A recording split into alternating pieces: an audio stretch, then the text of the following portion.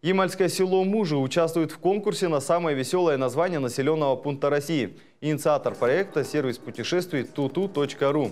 Среди конкурентов поселок Паника Оренбургской области, Тюменская деревня Веселая Грива, населенный пункт Упоровка, который находится в Кемеровской области и так далее.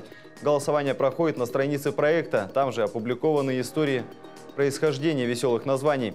Отдать свой голос можно до 20 октября, пока мужи на третьем месте. За Ямальское село уже проголосовали около 900 человек. Итоги конкурса подведут в конце ноября. Победитель получит памятный кубок и знак «Российский населенный пункт» с самым веселым названием 2019.